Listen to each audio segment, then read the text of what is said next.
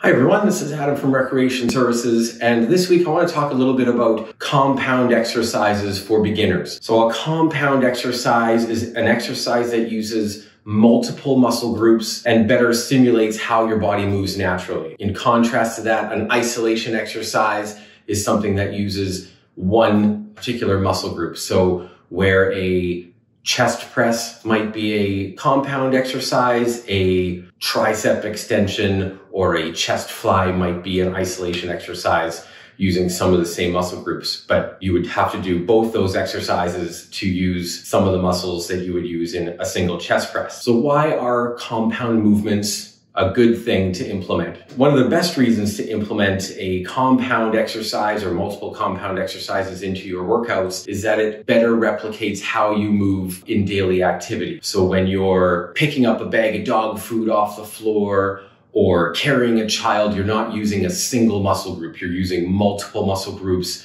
at the same time to get these movements done. So many compound exercises help replicate those kinds of movements where you need to recruit all these different muscle groups at the same time. On top of that, it's much more efficient. So you get to target all these different muscle groups with fewer exercises. So why would you do three exercises when you can do one and get the same amount of work done? Wow. And lastly, building on top of building on the theory that you're using more muscle groups is that you will also use more energy because you're using more muscle groups. So a bicep curl isolating a very small muscle group where if you're doing, you know, a pull up or a lat pull down or something like that, you're using your biceps, but you're also using your lats and your traps and your rhomboids. So you're using a lot more muscle groups, which are also using energy. So you get to burn a lot more energy uh, in the same amount of time. So I'm going to go over a few sample exercises, sample compound exercises that you can do. We'll go over a few body weight versions and then some barbell versions that you can progress to or build to. So some body weight compound exercises would be something like push-up variations. Uh, if you wanted to make a push-up easier, you would go from your knees. You can make it harder by elevating your feet. And when you do a,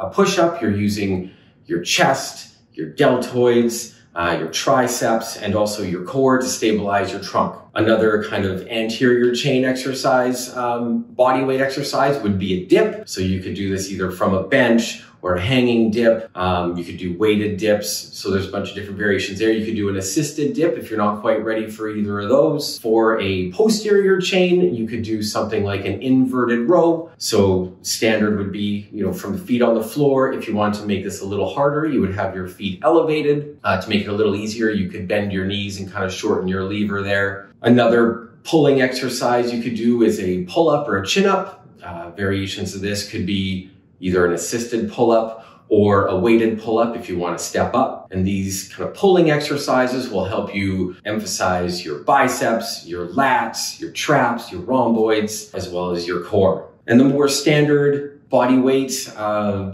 compound for the lower body would be a body weight squat, so an air squat, uh, using your quads and your glutes and your hamstrings and your core um, a step up from that could be a goblet squat. So you're holding a little bit of weight in front of you to add a little bit of weight. So those would be some body weight versions you could do. Um, if you want to then progress to barbells, uh, some options would be a barbell squat, and that can be either a front squat or a back squat. The front squat would help you emphasize the quads a little more. And then if you go to the back squat, you're starting to use your glutes and your hamstrings a little more as well. But in both those, you're also still emphasizing your core as well as your upper body because you need to brace uh, through your shoulders uh, holding the bar. So you're going to get a little bit of work through your upper body as well, but more in a stabilizing fashion. Other barbell exercises for the lower body specifically uh, would be deadlifts. So you could do a conventional deadlift where you're using your quads a little more, but you're also really stressing your erectors in your back, as well as your glutes and your hamstrings, also your traps, lats, rhomboids, also stabilizing the bar. When you get to a Romanian deadlift, you're starting to emphasize more hamstrings, less quadriceps, because now you're not doing any knee extension. So you're really shifting the emphasis to the posterior chain. So a lot of hamstrings, glutes, erectors, uh, as well as those traps and rhomboids. Same thing, stabilizing the bar and maintaining posture. And one more uh, lower body barbell exercise would be a barbell lunge, typically done with the bar over the back like it would be in a back squat, but you could also do a front rack position. Again,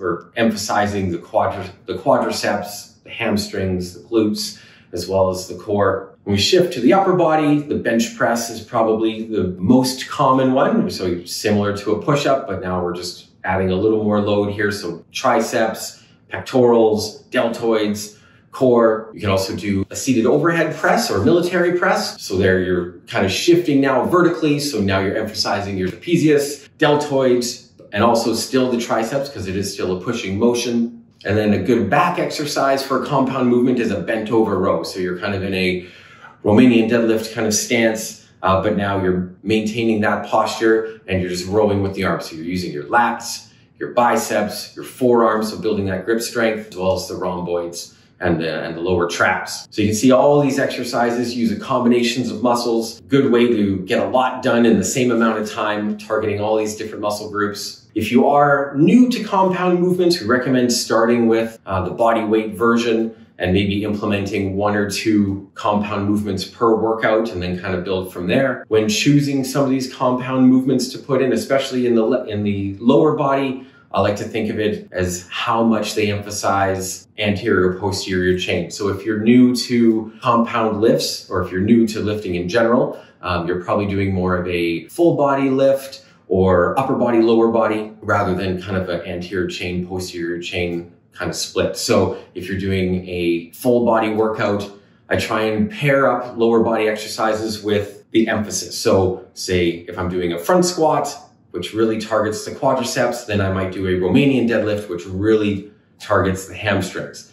Or I might kind of meet in the middle and do a back squat and a conventional deadlift where they're both kind of closer to the middle and less extreme uh, on either end. So you think about that when you're trying to pair up compounds, when you're starting to implement more than one. Uh, but that's a kind of a, a, thought process you can use when you're trying to select which ones you want to pair together uh, once you start doing more than one. If you are trying to transition from body weight compounds to barbell compounds, uh, it's good to practice your technique. Maybe use a broomstick or something instead of a barbell so you can work on your technique without the load. And uh, if you can do it maybe in front of a mirror at home or film yourself at home, since we don't allow videos in the active living center, but film yourself at home and maybe compare yourself to some videos so you can work on your technique without the load. When you feel comfortable with the, with the technique, then you can start adding an actual barbell and put some weight on there and start going from there. But really try and maybe do some sets with just a broomstick or a dowel. We have dowels in the active living center that you can use and kind of work through your techniques. If you are working on it in the active living center, also feel free to ask a fitness attendant to come look at look at it and give you some pointers, give you some feedback. And that's a good way to uh, kind of get used to it and get some get some technique tips and, and do some fine tuning. So I hope that helps. I hope you can implement some compound movements into your workouts, get more bang for your buck and keep progressing. Good luck.